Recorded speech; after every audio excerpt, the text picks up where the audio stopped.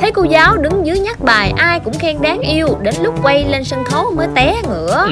Theo đó bóng dáng cô giáo thước tha trong tà áo dài trắng tinh khôi Đang nhiệt tình vừa múa vừa hát Vừa nhắc bài cho các bạn nhỏ đang thực hiện tiết mục múa của mình trên sân khấu. Vì sợ các em quên bài. Thế nhưng đến khi cameraman chuyển góc máy Từ phía cô giáo xinh đẹp lên phía các bạn nhỏ đang thể hiện sự duyên dáng của mình Thì cộng đồng mạng đồng loạt bật ngửa trước sự lực điền của các bé thiếu nhi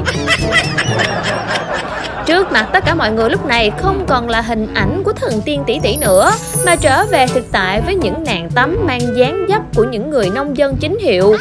Khi ai ai cũng sở hữu cho mình những múi cơ bắp cuồn cuộn Thoát ẩn, thoát hiện trong những chiếc yếm đào bé bé xinh xinh.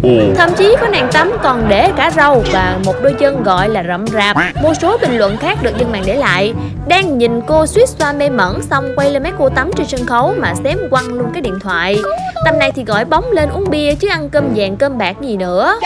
Đang tự hỏi sao nay các cháu mầm non diễn mà cô đứng xa thế? Lại còn vừa múa vừa bước lùi thì các cháu nhìn rõ được.